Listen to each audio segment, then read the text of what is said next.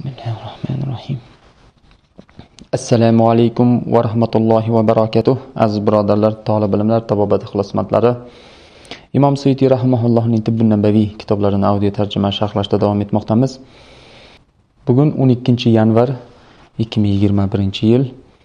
O'tgan darsimizni soxta za'faron bilan yakunlagan edik. Bugungi darsimiz listya indigo deb rus tiliga tarjima qilingan vashma deb arabiysini keltirilgan ya'ni kirilchada balki vasma bo'lar. Bu rang beruvchi bir o'simlik. Buni e, o'sma deyishimiz ham mumkin. Vasmani odatda o'smaga nisbatan aytiladi arabiydan agar olsak. Bu e, nil o'simligini yaprog'i ham deyishadi. O'zimizni o'smalarni ham bunga kiritishimiz mumkin. Bir tarafdan bu indigo shunday bir e, rangi odatda e, o'smani rangidan bo'lakcha aslida. E, buni o'sha ko'kimtir havo rangdagi e, qora rangdagi demak o'smani bir turi yoki xina desak rang beruvchi vositalar uni ham mana xinani hinna deydi yoki uning ham bir qancha turlari bor. Yoki bir mm, basma degan yana e, qoramtirroq rangdagi to'qroq beriladigan e, rang beruvchi o'simlikni bir turlari bor. E, bularni demak bir qancha mm, rang beruvchilarning turlari bor. Agar buni vasma deb o'smani nazarda tutayotgan desak agar shunday deb tarjima qilsak ushbu o'smaning barglarini vashma deydi deb ruslarda keltirilgan vasma desak agar uni qo'llash sochlarni rangini sifatli bo'yaydi ularni al vashama deb deb nomlangan e, ya'ni sochlarning rangi ro'yi holati buzilgan holatdagi oq tushgan sochlarni holatini al vashama deb nomlangan mana shu holatni ketkazadi deyilgan. Balki mana shundan ham nomi kelib chiqqandir. Э, ushbu holatga. Ibn abbos roziyallohu anhu aytadilar bir kuni bir kishi xina bilan sochlari bo'yalgan kishi rasululloh sollallohu alayhi vasallamning yonlaridan o'tdilar. Rasululloh alayhissalom aytdilarki e, bunchalar ham yaxshi bu dedilar. Ya'ni uni o'sha xina bilan bo'yalgan sochlarini ko'rib. Shundan so'ng boshqa bir kishi o'tdi. Э, uning sochlari xina va indigo bilan bo'yalgan edi. Rasululloh alayhissalom bunisi esa undan ham yaxshi ekan dedilar. Shundan so'ng yana bir inson o'tdi rasululloh alayhissalomning yonlaridan. Uning sochlari sariq bir rangga bo'yalgan edi. Rasululloh sollallohu alayhi vasallam e, bu kishiniki esa hammasidan zo'r ekan dedilar. Ushbu hadisni e, abu davuddan keltirilgan ekan. Endi bu hadis bir ko'rinishda mm, e, insonni tabassum yuziga keladi. Chunki mana ko'ryapmizki birinchidan bu yerda xina va indigo har xil narsa ekanligi bilinmoqda. Chunki mana yuqorida birinchi kishi o'tganda u kishi xina bilan bo'yalgan edi sochlari u kishini sochlari. Rasululloh alayhissalom qandayyam yaxshi dedilar. Ammo keyin xina va indigo bilan bo'yalgan edi deyilmoqda. Demak bu yerdagi ketayotgan so'zimiz bu xina haqida emasligini bildiradi. Indigo alohida bir e, demak rangli rang beruvchi o'simlik ekan. Buni ko'rib bunisi zo'r ekan yaxshi ekan yana ham yaxshi ekan dedilar. Ammo sariq rangdagisi kelganda eng yaxshisi ekan dedilar. Demak bu yerdagi mm, eng yaxshi a'losi bu sariq rangdagisi degan xulosaga keladi. Endi e, sariq sochlilar sochli kishini tasavvur qilganim uchun yuzimga tabassum keldi.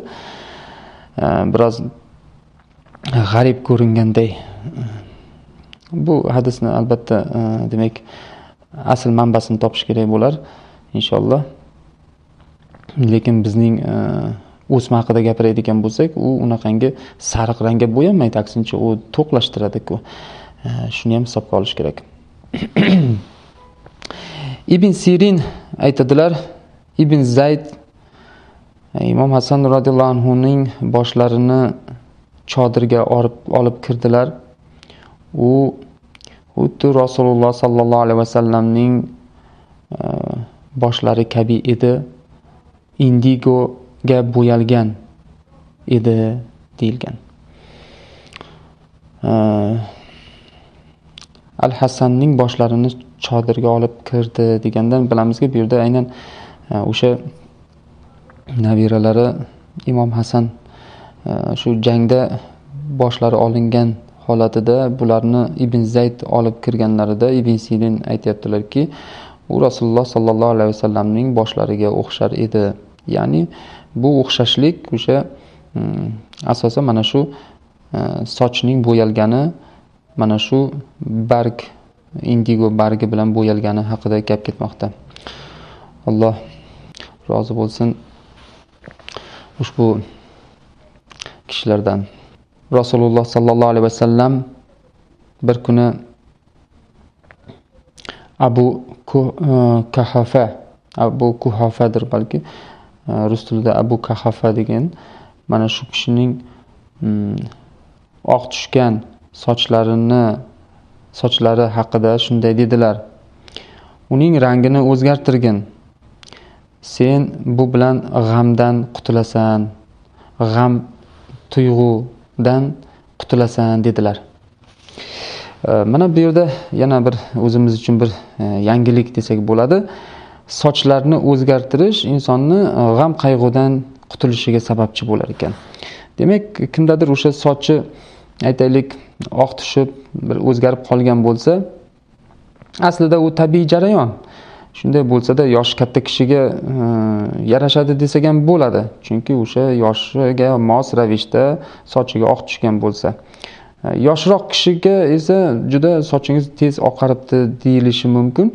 Ammo bu yerda mana shu yerda o'zida ham e, bu joizligi afzal ekanligi ko'rinib turibdi sochni bo'yashlik shunaqa oq tushgan sochlarni bo'yashlik mana shu g'am tashvishdan ketilishiga erishasan demoqda. Yana bir boshqa manbalarda o'qigan edik shu yerda esimga keldi o'sha insonni kayfiyati yaxshi bo'lishi misol uchun xina bilan bo'yalganda insonni kayfiyati ham xushchaqchaqligi ham oshishi haqida. Mana shu manbalardan ma'lumotlardan bilmoqdamizki mana shu rang beruvchi demak mahsulotlardan foydalanish joiz va ular insonni xursand qiladi g'amini ketkazadi. Shu ma'lumotlarni o'zi bilan kifoyalanamiz. Keyingi mahsulot bu hmm, yoqut rus tilida yaxint rubin deyilgan. Arabiyda yaqut bizda ham yoqut desak bo'ladi. Ushbu yoqut yurakni mustahkamlaydi. Uni xursandchilikka to'ldiradi. Shuningdek ular hmm, zaharga qarshi vosita sifatida qo'llaniladi. Agar ushbu yoqutni og'izga solinsa u chanqoqni ketkazadi. Ular yonmaydi va ularni sindirish juda qiyin. Davomida alloh taoloning qur'oni karimning ellik beshinchi surasi ar rohman surasini ellik sakkizinchi oyatini muallif keltiradilar. Ular ya'ni bu yerda hurlar nazarda tutilgan xuddi yoqut va marjonlar kabidir. Shularga o'xsharlar degan oyatni keltiradilar. Biz oldin ham marjon durlar haqida gapirgan edik. Bu yerda esa aynan yoqut va marjonga o'xsharlar. Hurlarning e, vasfi kelmoqda. Davom etamiz. Keyingi mahsulot bu yasmin rus tilida jasmin. Ushbu ushbu yasminning mizoji sovuq va quruqdir. U keksa yoshdagilarga foydalidir. Biroq uni haddan ziyod nafas olinsa uning hidi e, insonni tanasini sariq rangga keltiradi. Ajoyib. Demak shunday xususiyati bor ekan. Ko'p hidlab yuborilsa uning o'sha hidi e, insonni tanasini sariq rangga kiritar ekan. Bu balki o'sha e, kimyoviy nuqtai nazardan jigarga ta'sir qilishidir. Yoki e, o'sha qonga so'rilib mm, qandaydir shunaqa sariq rang berishi bo'lishi mumkin. Ba'zi mana e, mevalarda sariq yoki boshqa rangga bo'yalish bor narsa. E, ushbu yasmin mahsulotining yog'i qizdiruvchi hisoblanadi. Agar yasminni quritib uni kukun holatga keltirilsa so'ng uni biron joyga qo'yilsa undagi narsalar qora rangdagilar oq rangga aylanadi deyilgan.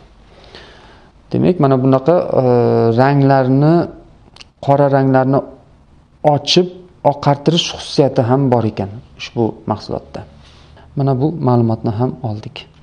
Keyingi mahsulot bu yaktin e, bu tikva bu qovoq oshqovoq e, bu haqida biz qar deb nomlangan mavzuda bo'limda o'tgan edik deydi muallif. Demak bu mavzuni mm, oldin o'tganliklarini aytmoqda. Biz e, darhaqiqat oshqovoq haqida e, qar degan nomlangan joyda aytib o'tgan edik.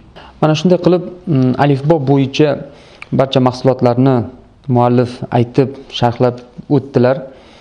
Shunday qilib deydilar so'ngida ey odamlar ey insonlar esda saqlanglar o'ylab ko'ringlar anglanglar va allohning so'zlaridan foyda chiqaringlar deydi va bu yerda qur'oni karimning yigirma oltinchi surasi ya'ni shuaro surasi yettinchi sakkizinchi oyatlarini keltiradilar. Ular yerga qaramaydilarmi?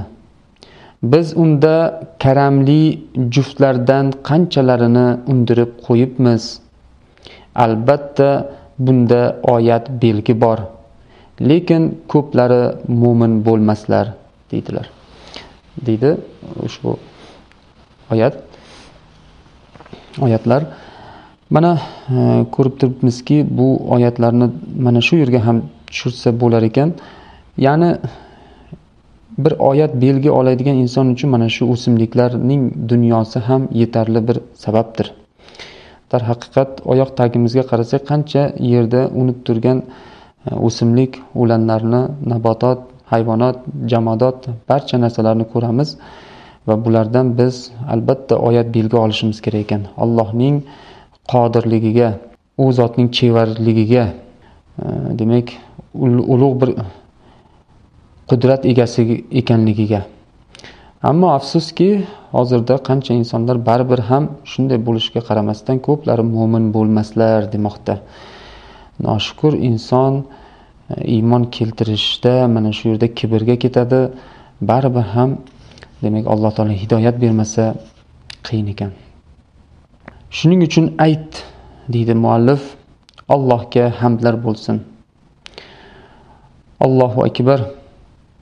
U zot haqni chiqardi haqni ko'rsatdi. U zot Alloh o'zining buyruqlari bilan narsalarni yaratdi bo'l deyishi bilan yaratdi. Qaysilariki inson uchun foydali va qaysilariki ham zararli va o'zi o'rgatdi o'zi ko'rsatib berdi. Istagan narsasini bizga ko'rsatdi. Nima yaxshi va nima yomonligini ochiq ochiqlab berdi. Ushbu narsalarning tabiatini issiqlikmi ular yoki sovuqmi ho'lmi yoki quruqmi barchasini alloh taolo bizga mana shunday ko'rsatib berdi. Va barcha narsalarni mana shu yerda men aytib o'tgan bo'lsam bari bu katta bir bahr dengiz katta bir okeandan bir tomchidir xolos deydi muallif. Ya'ni ushbu berilgan ilmlar hali mana shu kitobda ko'rsatilgani bu ilm bir dengizidan bir tomchidir deydi. Va hech kim eslab qolmaydiki hamma narsani agar Alloh unga xotira ne'matini bermagan bo'lsa zero u zot Alloh shunday deydi deb yana Qur'oni Karimning 50 surasi ya'ni Qof surasining 37-oyatini keltiradilar. Albatta bunda qalbi borlarga va zehn bilan quloq osganlarga eslatma bordir deydilar. Mana shu oyatni keltiradilar muallif. Alloh taolo bu yerda mana qalbi borlarga va zehni bilan quloq osganlarga eslatma bordir demoqda. Demak, biz insonlar qalbimizni ochishimiz, zehnimiz quloq bilan osgan holda bu narsalardan eslatma olishimiz kerak ekan. Kimnidir qalbi bo'lmasa, ya'ni qalbi yopiq bo'lsa, bu hidoyatdan, bu ilmdan quloq osmaydigan bo'lsa, bundan u hech ham eslatma ololmas ekan. Faqat va faqat Alloh mana shu qalbini ochgan, zehn bergan, quloq solgan bandalariga mana shunday eslatma berar ekan. Mana shunday qilib biz e, ushbu sodda dorilar mahsulotlarni yakunladik. Mm, hozir mana e, составные сложные лекарственные средства ya'ni ya'niki murakkab dori vositalari haqidagi qismga keldik. Murakkab dori vositalari qismini inshaalloh tugatsak va undan so'ng 5 bo'limga o'tamiz. Bu dorilarning dozirovkasi miqdori, so'ng e, murakkab dorilar bo'yicha ba'zi demak qayd qilingan ko'rsatmalar 6-qismda. Undan so'ng butun kitobning ikkinchi e, qismini yakunlagan bo'lib, 3-qismga o'tamiz. Kitob o'zi 3 qismdan iborat degandik. mana hozir ikkinchi qismini yakunlash arafasida turibmiz undan so'ng mana e, demak uchinchi qismga o'tamiz va uning e, yettinchi bobi e, kasalliklarni davolash bobiga o'tamiz inshaalloh. Davo bobiga yaqinlashib qoldik. Davolash bobiga inshaalloh. Bugungi darsimizni mana shunday qisqaroq qilamiz. Alloh xayrli qilsin. Xato kamchiliklarimiz bo'lsa kaminadan yutuqlar bo'lsa albatta Allohning inoyatidan. Har birimiz mana shu keltirilgan ma'lumotlarni bu e, manbalardan tarjima qilsakda buni arabiy manbasini ko'rib imkon qadar mana hozirda imom al buxoriy rahimaullohning sahihi buxoriy kiritilgan oltin silsila e, shayx muhammad sodiq muhammad yusuf ustoz rahimaullohning e, kitoblarida elektron versiyalarda ham hadislar keltirilgan. Mana shu hadislardan izlab topib bu manbalarni solishtirib o'rganishimiz afzal hisoblanadi. Xatoliklardan xoli emas bizning ushbu e, sharhlarimiz shuning uchun doim izlanishda bo'lishni tavsiya qilamiz taklif qilamiz iltimos qilamiz. Sog' omon bo'lingizlar. Assalomu alaykum va rahmatullohi va barakatuh.